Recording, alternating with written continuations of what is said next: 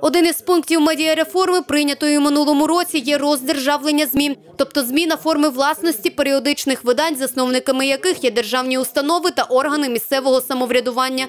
До слова, неупереджена демократична преса – це одна із вимог до вступу в Євросоюз, розповідає перший секретар Національної спілки журналістів України Сергій Томіленко. Звичайно, ми можемо критикувати той закон, який зараз є, і ми бачимо недосконалості в процесі, певні неузгодженості, і ну він не ідеальний, але все одно запрацювала модель, яка ключова вирішує, що вона дає право редакторам і редакціям все-таки отримати якби в свої руки ці редакції і відповідно їх розвивати. Об'єктивно говорячи, влада місцева стає цинічнішою в своїх діях, і відповідно всі наші розмови про місію, про служіння аудиторії, громаді, вони, на жаль, не знаходять вдячного якогось такого розуміння у депутатів, у фракції. І, відповідно, для них все більшою мірою це все ж таки якісь е, м, газета це ресурс, яким би вони хотіли управляти, а не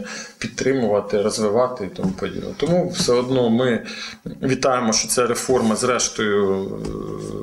е, Запрацювала з 1 січня, от е, ну і е, відповідно ключова перемога медіаспільноти і спілки журналістів, що ми захистили підхід саме е, першочергове право трудових колективів здобути ну якби таку відповідальність за майбутнє своїх газет. На сьогодні в Україні понад півтисячі газет державної форми власності, і вони повинні пройти роздержавлення, тобто редакція має стати або приватним підприємством, або кооперативною власністю. В іншому випадку її закриють. Вже зараз редакції газет, самі їх приміщення стають ласим шматком, який фактично задарма можна відкусити, каже Сергій Томіленко.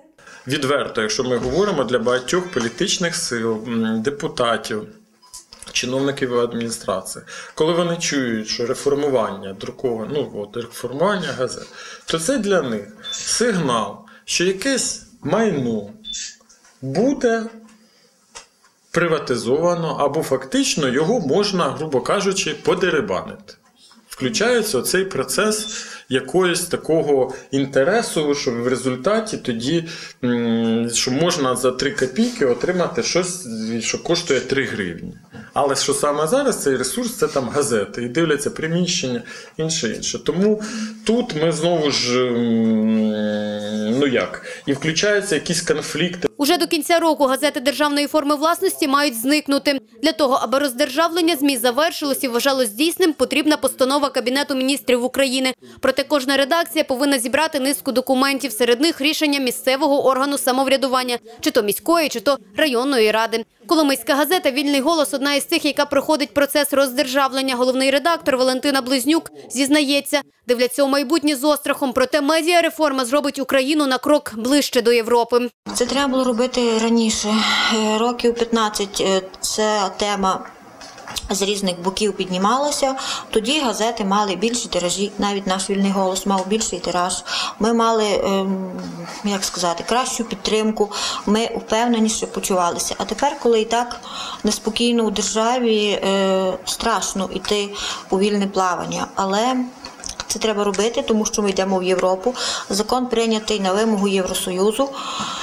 Ем, Держава у нас демократична, журналісти мають бути вільними від влади, і тільки тоді ми всі разом прийдемо в кінці кінців до якогось гарного результату. На зустріч консультацію із Сергієм Томіленком до Коломиї завітали редактори державних газет з усього Прикарпаття, адже завдання Національної спілки журналістів здійснювати громадський контроль над тіленням медіареформи на усіх рівнях. Для Національної спілки журналістів України е, саме здійснення успішної медіареформи, роздержавлення друкованих комунальних газет є пріоритетом. Ми ведемо цю тему.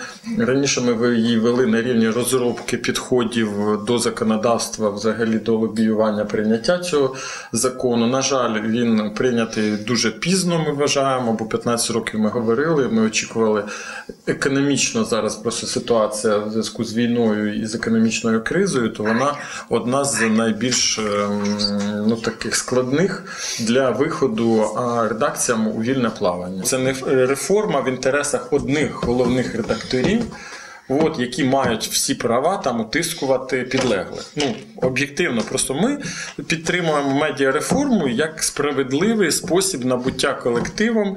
Там прописано в законі права трудового колективу на засновництво на майбутнє своєї газети. Нагадаємо, Сергій Томіленко народився в Черкасах, має вищу математичну освіту, випускник школи сучасної журналістики і школи політичних студій. Був головним редактором Черкаської обласної газети Нова доба. Проводить власні семінари і тренінги з практичної журналістики для регіональних журналістів. У травні 2012-го призначений на посаду першого секретаря Національної спілки журналістів України.